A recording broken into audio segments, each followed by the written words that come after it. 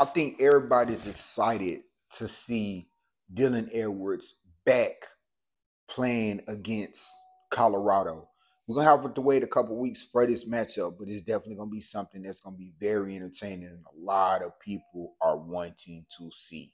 Check out what the head coach from K State had to say about Shedeur Sanders.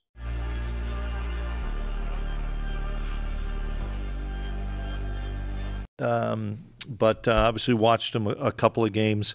Um, great players um, that um, I think Shedeur Sanders is one of the best quarterbacks in the country without a, without a doubt. Um, and uh, um, they have a bunch of wideouts. Everybody talks about Hunter, and Hunter is a everybody. He might be the top pick in the draft um, because I'm just shocked. I'm, I'm amazed, not shocked. I'm amazed that kid plays every snap of defense and every snap of offense.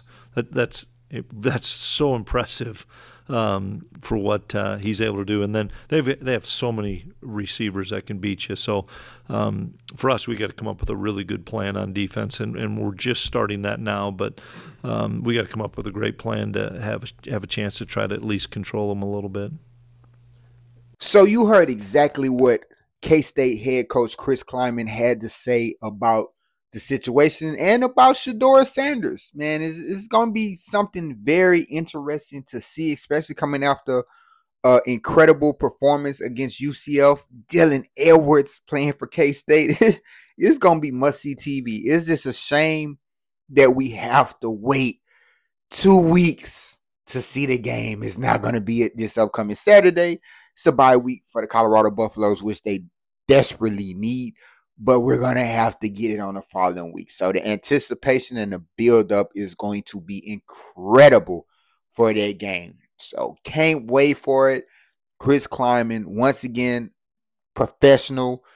Um, if I'm not mistaken, he was the coach at North Dakota State a while back. So just know how how to run a program. He just gets it and knows exactly what to say at press conferences. And he's gonna have his team definitely ready to play against the Colorado Buffaloes because if y'all been keeping up with college football like I have, I'm a big time fan.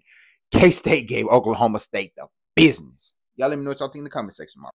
I pat myself on the back. I don't wait for you to tell me what I done or, or how you appreciate me. No, no, I'm gonna beat you to that. I'm gonna tell me first.